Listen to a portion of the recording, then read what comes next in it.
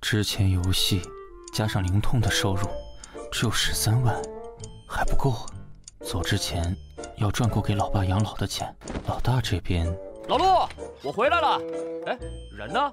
是十三，来了，是大包小包的。你要干什么？你这是离家出走了？不是，我要搬来和你一起住。什么？可我这只有一张床啊！没事儿，你家沙发够宽，我能睡得下。十三，你说实话，我是不是已经到了需要贴身照顾的地步了？哎，想啥呢？我是一个人在家太无聊了。至于你，一时半会儿还死不了。这是你的分析报告，报告显示你的生命体征良好。分析报告？这不可能吧？我一开始也不信，后来啊，那群老教授做了好几组对比试验，我才信的。老教授，我的事情被发现了。嗯，被发现了。你的病毒基因测序工程量太大了，老爹只能找人帮忙。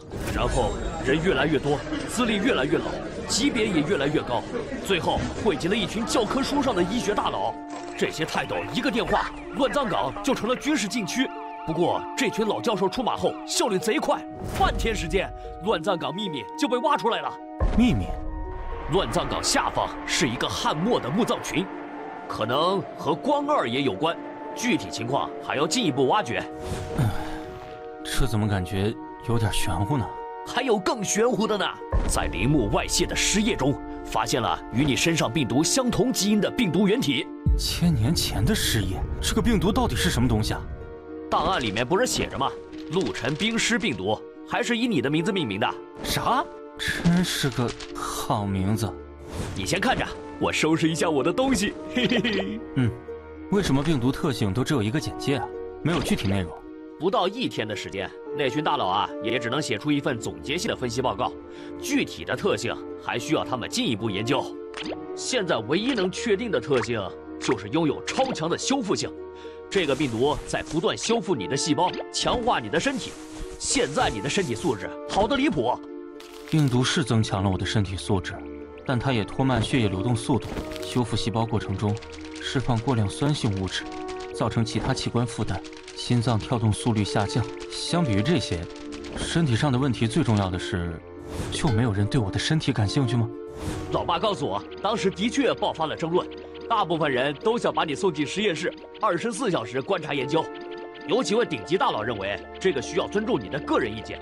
后来他们发现病毒原体更有研究价值，你的重要性直线下降，只作为病毒原体的参考对象。没变成小白鼠就行。没想到这个病毒居然帮了我三次。哎，三次？不是两次吗？修复细胞使我起死回生，病毒原体让我避免成为小白鼠。最后，就是我的大脑延迟降到了零点九秒。啥？真的假的？真的。哎，快快进游戏带我感受一下。对呀，这玩意儿可以修复细胞，那肯定能修复你的脑神经啊！这么简单的逻辑，我怎么就没想到？正好也测试一下老爸他们安装的 X 光系统有没有效。X 光系统？那是什么东西啊？简单来说，你的头盔现在可以释放对病毒有抑制作用的 X 光光谱，这样一来，你就不用每天去医院做 X 光抑制治疗了。这么神奇啊！不用每天去医院，在家就能治疗？当然，除了头盔，还有这个东西。这个又是什么？生命检测手环，能够检测你的生命体征数据，然后把数据实时传输到医院做数据参考。不过每周还是要做一次全身检查，作为详细数据参考。检测手环，十三，这个红线是怎么回事？哎，红线？这是？好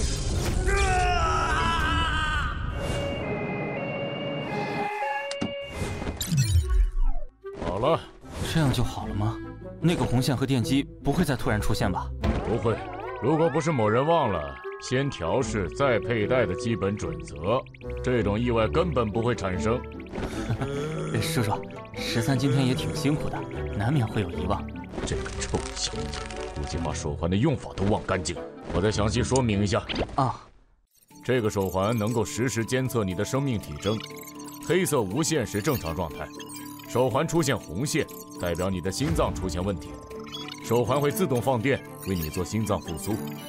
出现蓝线则是肺部问题，手环会自动注射肾上腺素，出现绿线则是血液问题。你的生命体征因为病毒的存在异于常人。十三这个家伙，不调试参数就敢直接给你带上，怪不得红线出现后，手环立刻开始放电了。出现线条之后也不必惊慌，市区内的话，我会在半小时内赶到。如果你要离开市区的话，需要向我们提前申报，这是为你的安危着想，希望你能够理解。出行范围限制在市区内，这应该是他们做出的最大让步。好的，我知道了。行，那我就先走了。叔叔慢走，有情况马上联系。我的妈呀，终于走了！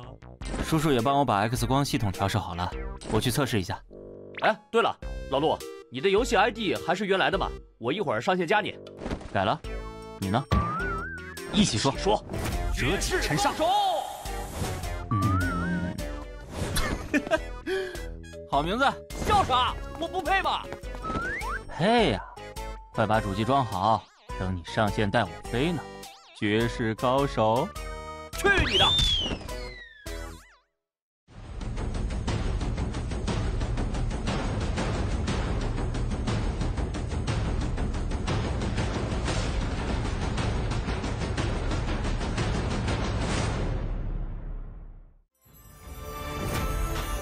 正义的我被形成一场大反派，每周五准时更新。